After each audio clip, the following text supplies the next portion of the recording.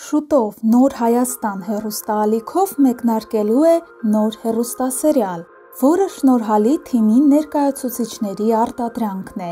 Սերիալի սցենարիստն է տաղանդավոր Անուշ Պետրոսյանը, իսկ ռեժիսորը բոլորի կողմից շատ սիրված ու հարգված Վարշամ Սաֆրազյանը։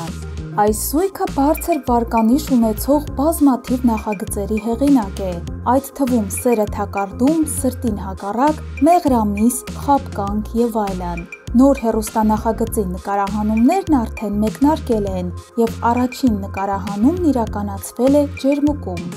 Նոր սիրային դրամայի անունն է «Սիրուց հետո» եւ այն պատմում է երկու սիրահար զույգի ռոմանտիկ սիրո պատմության մասին։ Սերիալում կտեսնենք ինչպես մեծ փորձ ունեցող, այնպես էլ սկսնակ դերասանների, այդ թվում Թամարա Գևորգյանին, Գոռհան Բարծումյանին, Անաստասիա Վիվտաշին, Շուշան Մաճկալյանին, Արամ Թորգոմյանին եւ այլն։ Երեկ Թամարա Գևորգյանը սոցիալական ցանցի իր էջում հրապարակել էր տեսանյութ, որտեղ ասում է, որ հարյուրավոր հետևորդներից ստացել է նամակներ, որոնք գրում են, թե շատ ուրախ են տաղանդավոր եւ միշտ սպասված դերասանուհուն կրկին տեսնել եթերում, այն էլ գլխավոր հերոսուհու կերպարում։ Սցենարիստ Անուշ Պետրոսյանն էլ իր էջում հրապարակել է լուսանկարներ առաջին սերիայի նկարահանման օրից։ Հետևեք մեր TV էջին բաց չթողնելու համար «Սիրուց հետո» սերիալի առաջին սերիայի օրը։